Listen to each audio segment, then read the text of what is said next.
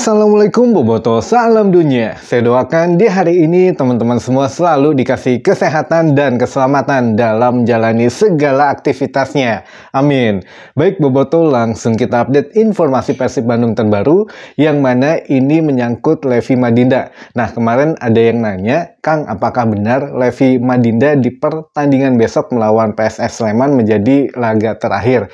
Nah, ini juga saya perlu uh, sorotin gitu ya biar tidak simpang siur kabarnya. Jadi kalau untuk kemarin itu memang viral, Levi Madinda memposting di media sosialnya cuplikan atau screenshot dari film di Netflix lah namanya The Last Dance. Nah, The Last Dance ini dibubuhi caption atau emoticon beserta uh, ya ada emoticon sedih, hati biru dan ka, apa tangan yang bergambar hati gitu ya. Dan memang ini menunjukkan apakah benar Levi Madinda akan melakoni laga terakhirnya. Namun bukan hanya kemarin saja yang untuk masalah unggahan di story-nya. Dan sebelumnya juga Levi Madinda pernah mengunggah bahwa dia sedang dengan dua pemain Persib lainnya dan menuliskan caption yaitu uh, apa mari kita bertanding sampai akhir gitu ya. Jadi ya perlu dijelaskan sedikit di sini bahwa Levi Madinda ya bisa jadi memang terakhir besok melawan uh, eh, PSS itu laga terakhir tapi di putaran pertama teman-teman. Jadi masih berpeluang tampil di putaran kedua. Nah, namun ini juga masih menjadi teka-teki karena Levi Madinda kan untuk uh, kontraknya selesai Desember 2023 uh, tahun ini gitu ya. Sedangkan untuk putaran kedua mulai 1 November. Nah, ini juga selama masih jeda bursa transfer terbuka ini yang besok putaran kedua itu masih bisa main gitu lah Levi Madinda karena ya masih belum habis kontraknya.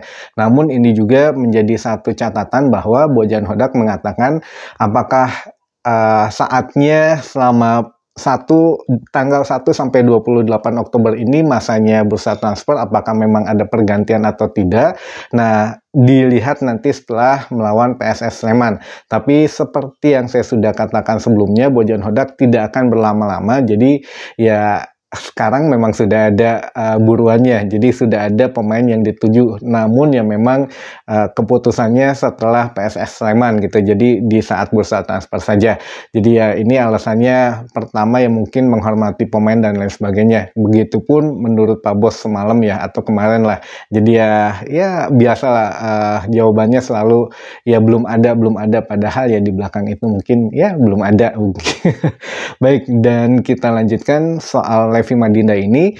Jadi jawabannya saya tidak tahu pasti apakah ini laga terakhir Levi Madinda bersama Persib atau tidak besok melawan setelah melawan PSS Sleman. Tapi yang jelas jika memang ini laga terakhir berarti ya kita menggunakan satu apa opsi yang sebelumnya saya pernah sampaikan juga yaitu memainkan uh, beberapa laga di bulan November sebelum penutupan bursa transfer yang akan dimainkan oleh Tyron Delpino. Jadi Delpino mungkin dikasih kesempatan berapa kali main karena kan bulan November Persib kalau tidak salah ada tiga pertandingan sebelum ditutup masa transfer gitu ya transfer kedua. Jadi sebelum itu kemungkinan akan dilihat atau ya uh, punya opsi lain lah manajemen dan Bojan Hodak tentu akan membicarakan hal ini gitu ya. Jadi kita lihat dulu saja nanti. Baik, mungkin itu dulu saja informasi yang bisa saya sampaikan di hari ini. Mudah-mudahan menambah informasi dan wawasan teman-teman Boboto semua. Sampai ketemu lagi di informasi selanjutnya. Wassalamualaikum Boboto. Salam dunia.